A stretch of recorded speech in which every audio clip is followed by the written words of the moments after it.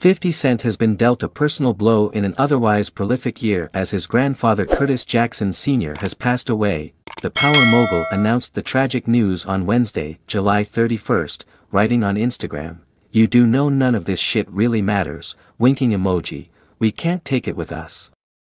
I lost my grandfather last night, now he can go everywhere with me. Fans theorize Drake's vague Instagram post is aimed at Joe Budden for this reason. In a follow-up post on Thursday, August 1st, 50 penned a heartfelt tribute to the man who raised him while sharing photos of the two of them from over the years. My old man is a tough act to follow, he sacrificed for all of us. He made me smile every time I saw him.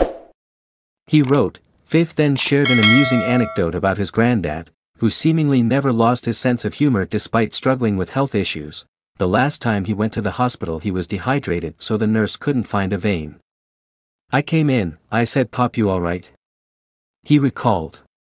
He said no, confused face emoji, she stick me again and I'ma start shooting, lol, laughing emoji, I almost fell out. Three laughing and crying emojis, south side we outside WTF.